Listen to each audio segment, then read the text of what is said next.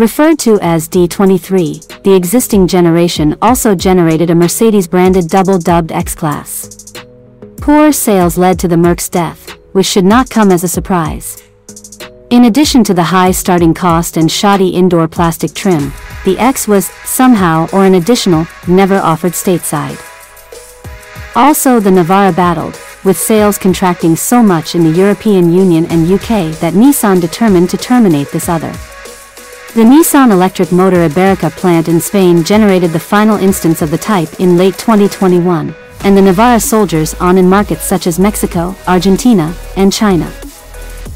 Nissan is a huge automaker with plenty of cash money to its name. However instead of establishing a brand new and much improved Navara, the Japanese firm will certainly save money in the most obvious of methods. With Nissan calling the shots at Mitsubishi, one can picture an L200-Triton with Nissan styling hints.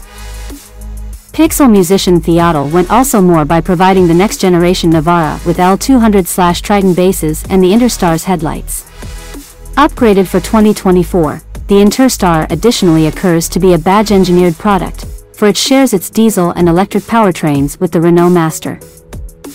A few years ago, former Nissan president Carlos Ghosn made it clear that Mitsubishi's next-generation midsizer would certainly share its system with the Navara.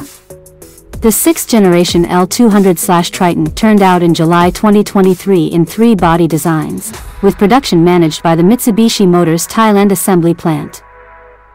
Pertaining to the fourth-generation Navara, we're anticipating its debut in the second half of 2024 for the 2025 model year. Word on the street is that hybridized powertrains might be in the offing, consisting of a PHEV a la the Ford Ranger PHEV. Not meant for the USA market, the plug-in hybrid truck features the 2.3-liter EcoBoost turbocharged 4-pot and assures an electrical series of 45 kilometers, 28 miles. The 2025 Nissan Navara might very well utilize the Mitsubishi pickup trucks 4N16 turbo diesel, which comes in either single or twin-turbo flavors. Transmission options include a 6-speed manual and a 6-speed automatic. Alternatively,